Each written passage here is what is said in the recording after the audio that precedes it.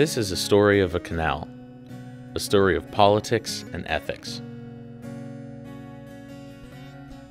Destroyed towns, violence, and torture. A story of passion and apathy, and progress versus conservation. This is a story of Florida.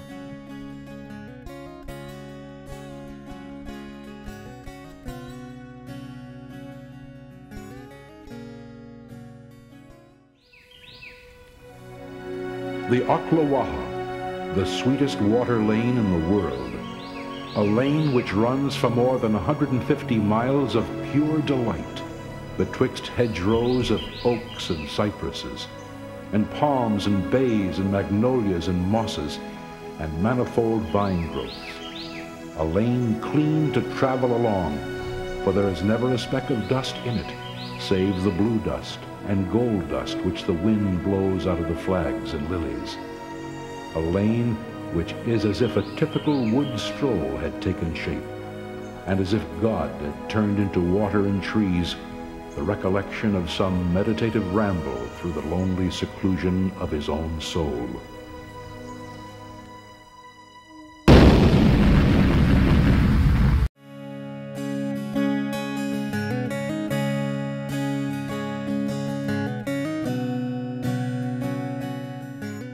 The Cross Florida Barge Canal is one of the greatest boondoggles that has ever been perpetrated on the Florida public and the United States public.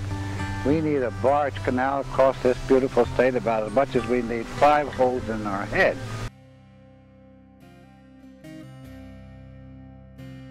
The Cross Florida Barge Canal was envisioned as a 107 mile long canal stretching from the St. Johns River in Jacksonville to the Withlacoochee Bay.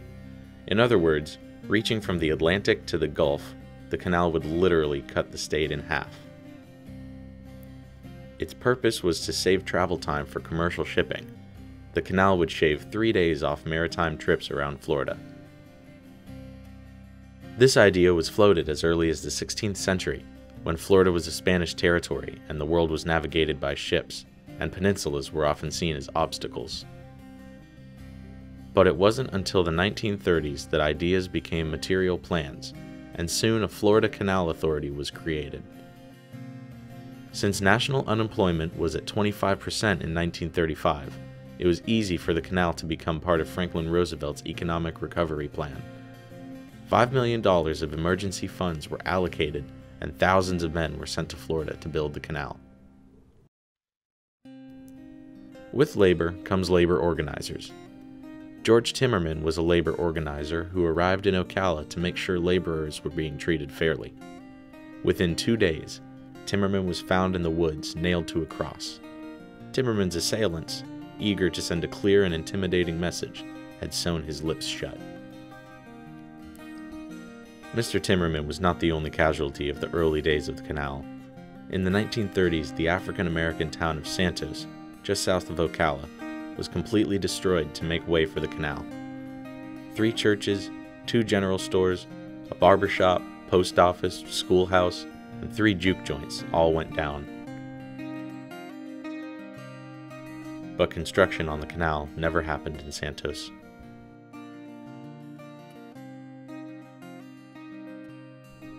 In fact, when the funds dried up only a year after it had begun, canal construction stopped. In 1942, the SS Gulf America was torpedoed by this German U boat off the coast of Jacksonville. Due to the merchant ship carrying a hundred barrels of oil, civilians watched from the shore as the ship burnt for two days. Nineteen of the 48 crew were killed, and the ship sunk to the ocean, where it remains. Not long after, the lights of the boardwalk were blamed for the attack.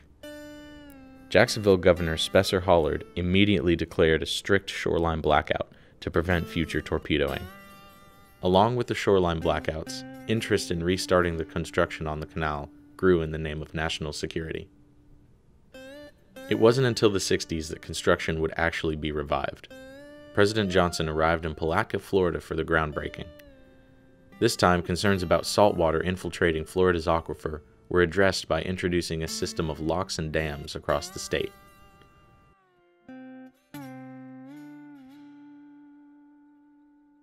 The state and federal agencies involved unanimously agreed upon one route, one plan, a toll-free, lock-type, shallow draft barge canal, higher than sea level. It will run atop the water-bearing strata rather than cutting down through this strata to sea level. The route has an abundance of water and requires the least amount of excavating by making maximum use of natural waterways. It seems like a good compromise. The aquifer would stay safe and progress in Florida would still be made. One woman from Micanopy, Florida had the guts to see through this. Born and raised in Bonita Springs, Florida by naturalist parents, Marjorie Harris Carr understood Florida ecology and how important and unique it was. Not to mention her husband, Archie Carr, a UF professor and world renowned sea turtle biologist. After getting her bachelor's degree in zoology from the Florida State College for Women, now Florida State University, Marjorie became the first woman in the United States to be a wildlife technician. She got her master's degree in zoology from the University of Florida in 1942. Good at what she did, influential, um, uh, loved by a lot of people. Um, she intimidated, you know, a lot of people in agencies. But she was a very positive woman. And she never, I have to say this about my, both my parents, and I wish I were more like this, that there was no self pity, no resentment, no backbiting, no gossip. You know, they weren't perfect people by any stretch of the imagination, but those aspects of them, I, I never, they did not have. I never heard mother slight or say anything awful, catty about all those people that she worked with with the barge canal.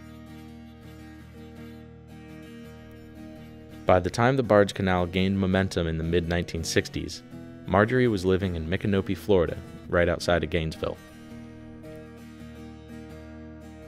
News of the barge canal was shocking to her and her family, but Marjorie was not the type of person to sit idly by. She took action in 1969, creating the Florida Defenders of the Environment, or FDE for short. The FDE was a conservation group made up of professors, lawyers, and biologists that was meant to oppose the barge canal using facts, studies, and tangible evidence of the harm that the canal would cause. You have initially changed the whole geomorphology of a river or a system of rivers, the way they drain, how much fresh water there is, and where the fresh water goes. By looking at other canals, we would have figured out that we would have lost a lot of our bottomland hardwood swamps that clean the water and even affected our estuaries at the Gulf and the Atlantic. And estuaries are where the majority of our nation's seafood has its infancy.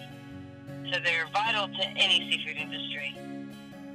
So now you've removed the morphology of the river, you've lost the water cleansing properties of hundreds of miles of swamp, and then you change the river morphology and it's getting dredged, so it's silty and then you're losing the bottom of the food chain. So you're losing the invertebrates that feed all the other fish. And so it becomes a cascade. It's not just fragmentation or one simple or easy word. And then what happens when ships need to get bigger, bigger than we thought they would have been in the 60s. So then you're enlarging and you're having to move more water and you're having to shift the water. As we've seen in a lot of port systems like the Great Lakes, with ballast and bilge comes exotics from other country in that water.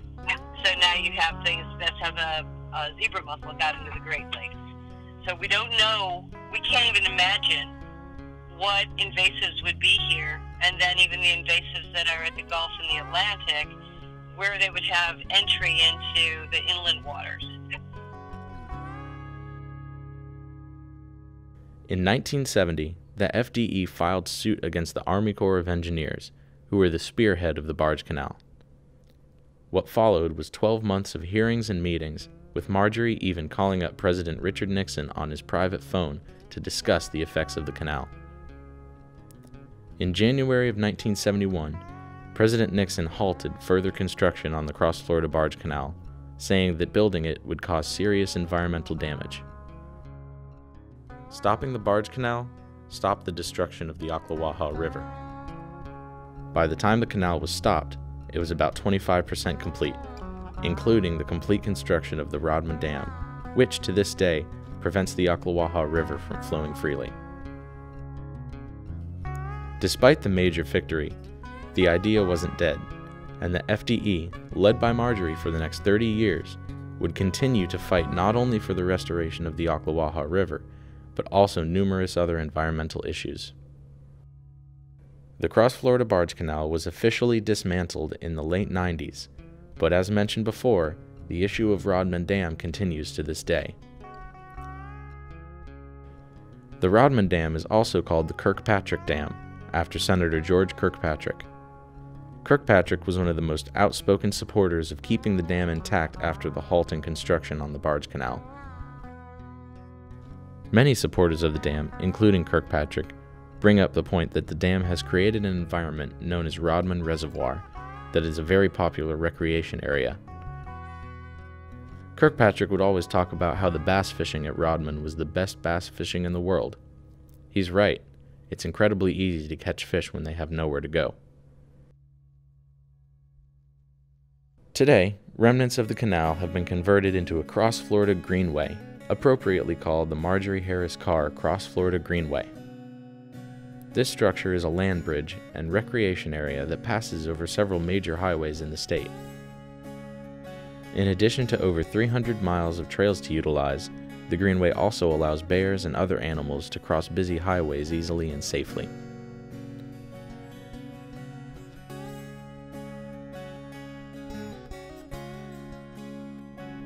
In the end, the story of the Cross Florida Barge Canal is one of Florida's most important stories. It goes beyond the Ocklawaha River and fighting for what you believe in, and brings to light the struggle Florida faces of preservation versus progress. Florida has always had this issue, and probably will for the foreseeable future. What do you do with a place like this? There is nowhere else in the world that has an ecological makeup like Florida does. So what happens next? Do we exploit it? Use it for economic gain? Or preserve it?